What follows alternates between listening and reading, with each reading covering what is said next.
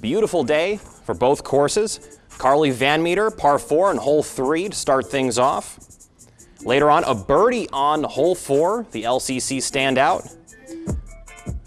Now, Aaron Mulcahy with a par three on hole four. Then Mary Kelly, her twin, a par on hole six. Ellen Nauman with a par on hole 15 for St. Henry. Now, Grace Miller for the Kalida Wildcats, par five on hole 12. Then Kennedy Dagger from Wayne Trace also on par for hole 12. And a close shot here by Justin Siebeneck of Kalida gets right on the edge, and he would close it out for a par on hole 13. Now, Wilt Palmelson with the birdie on hole 15, one of the best shots and runs of the day. Now, look at this putt from Minster's Joseph Magato. Right in there, par on hole 17. Alex Bawa from Botkins also caps it off.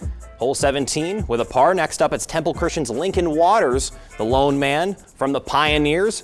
He'd get a bogey there, but the very next hole, he'd be at par on hole 10 as we take a look how everyone did today.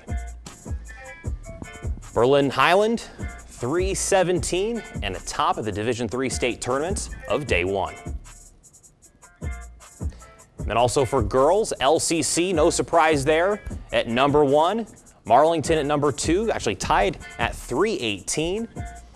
And St. Henry at 352 at number nine for our local standouts.